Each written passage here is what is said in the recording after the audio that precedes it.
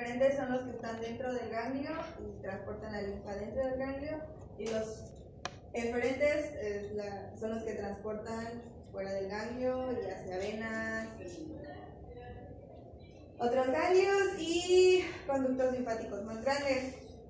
La linfa está constituida por glóbulos blancos, eh, linfocitos y bueno, es lo que se encuentra entre las células del cuerpo.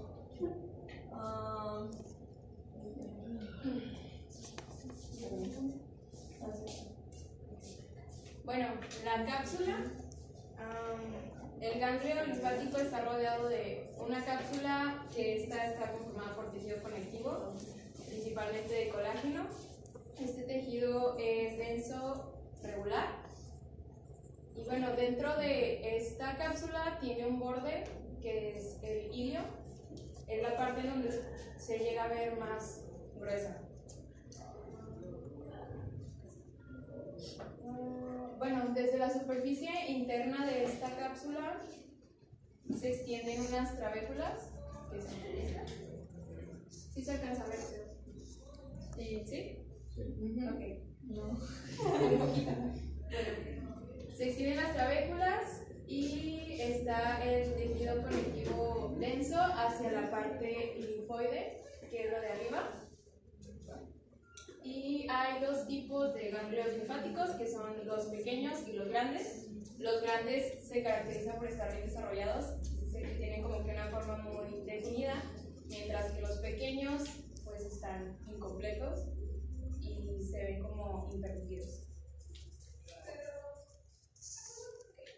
La corteza es una masa densa de células linfoides que están atravesadas por las trabéculas y por los senos intermediarios de estos.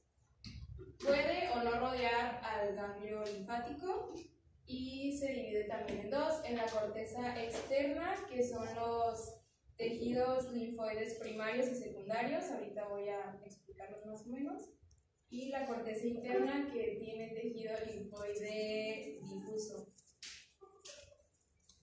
Aquí están los tres grupos de tejido linfoide. El primero es el tejido linfoide difuso. Este eh, abunda en la corteza profunda. Aquí son numerosos los linfocitos de tipo T. Estos linfocitos vienen del timo, no producen anticuerpos e intervienen la inmunidad celular. El otro tejido es el tejido linfoide primario. Aquí hay zonas de linfocitos chiquitos empaquetados y aquí hay más linfocitos B. Estos linfocitos son células con núcleos grandes y tanto la célula como el citoplasma son granulados. Y finalmente, ¿le regreso? ¿De regreso? ¿Estamos bien? ¿No? Y el otro es el tejido linfoide secundario. Este se divide en dos partes. La primera es el centro germinal, que es la parte central de este tejido. Aquí hay muchos linfocitos, tanto B y T, y tiene una coloración que es pálida debido a que tiene mucha presencia de al abundante citoplasma y a los núcleos eucromáticos que tienen. Cuando dicen núcleos eucromáticos quiere decir que el ADN está muy compactado. Y la otra parte es el manto o la zona creciente, que está formada por linfocitos pequeños. Tiene poco citoplasma, por lo que es de coloración más oscura. También. Ahí está. Estos envuelven el manto como si fuera un, casquete y se ubica al lado de la cápsula.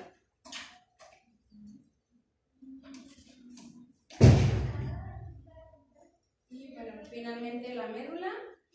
Um, esta abunda en los abdominales linfáticos. Aparecen de manera como que muy desarrollada debido al hecho de que los macrófagos tienen que hacer los antígenos que se encuentran en el intestino.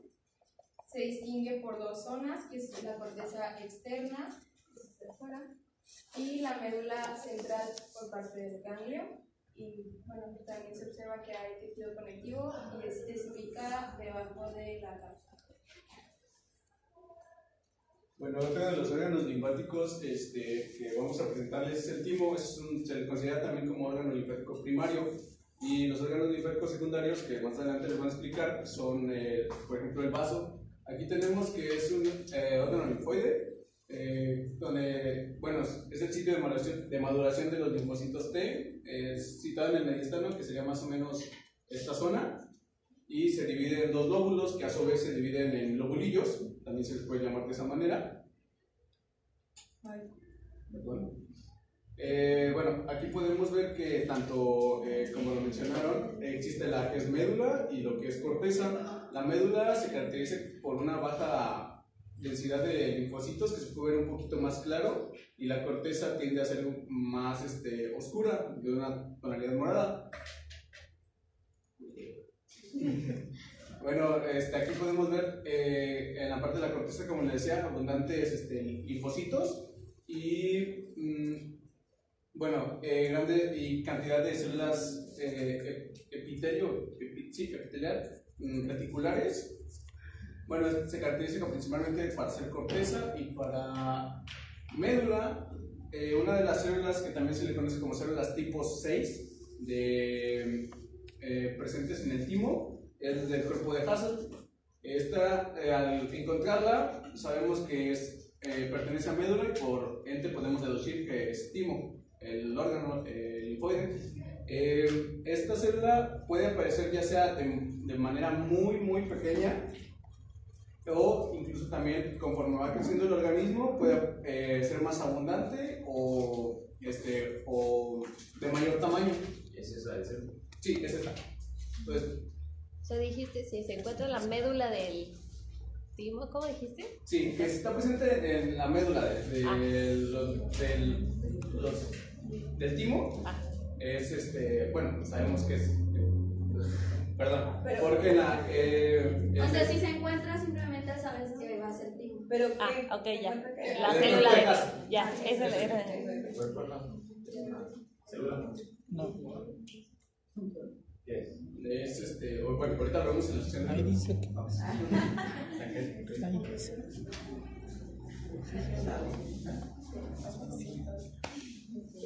Otra parte es la que vamos a ver, es el vaso. Esto se encarga de eh, la sangre y reacciona ante los antígenos. Y bueno, este va a estar rodeado por una cápsula de tejido conectivo denso y es rica en fibras reticulares.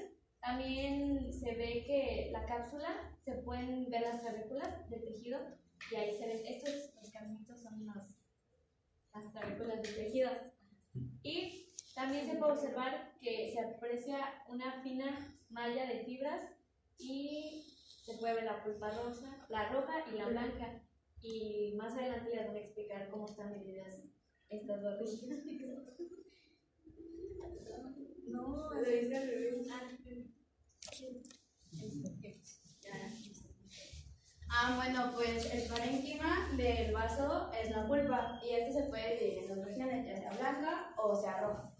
La blanca es una vez acumula, acumulación de linfocitos alrededor de una arteria. Esta en fresco es de un color blanco grisáceo, pero con la tinción de hematoxina y eosina es basófilo. Esto puede ser circulares o alargadas y está rodeada de pulpa roja, como lo vemos aquí. Esta es la pulpa blanca y ya lo demás es pulpa roja. Esto está conformado por un nódulo linfático, por una arteria central y por pars, que es una vaina linfática periarterial.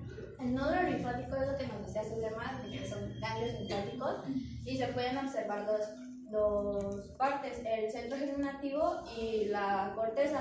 Si vemos aquí en esta imagen, pues la corteza no se ve muy bien, pero este clarito es el centro germinativo y alrededor se ve como unos linfocitos diferentes a, a la, al PALS, que es la corteza.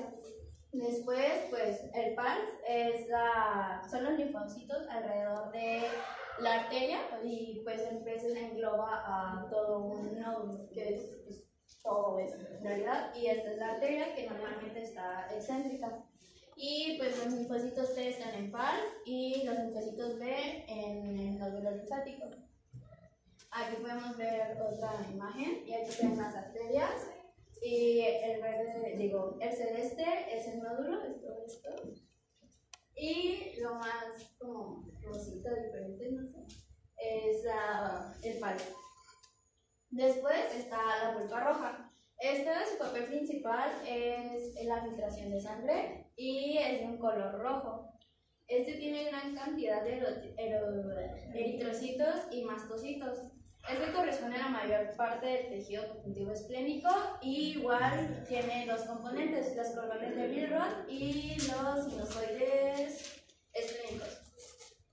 Este, los cordones de Milrod, también llamados cordones esplénicos, son una malla de células y fibras reticulares que funcionan como red para sostener diversas células, como lo pueden ser los eritrocitos, las plaquetas, los macrófagos y células plasmáticas.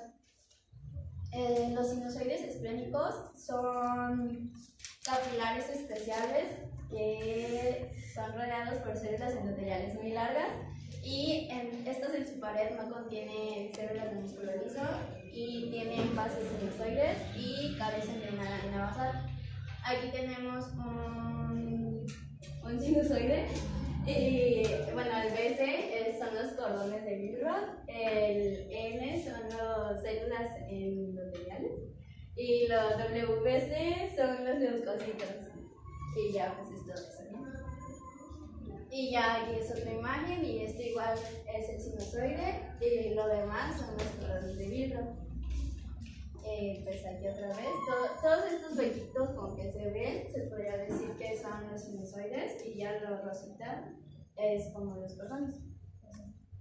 Y ya, pues ahí está una que tiene pulpa roja y pulpa blanca y lo que es lo azulito que está marcado es la pulpa blanca, mientras que lo demás es la, la pulpa roja. Y ya aquí otra que sería más, aquí lo más como rojito es la pulpa roja y lo moradito es la pulpa blanca. Y ya es la cápsula y lo que se ve pues allá son las travetas. Ya, más cosas.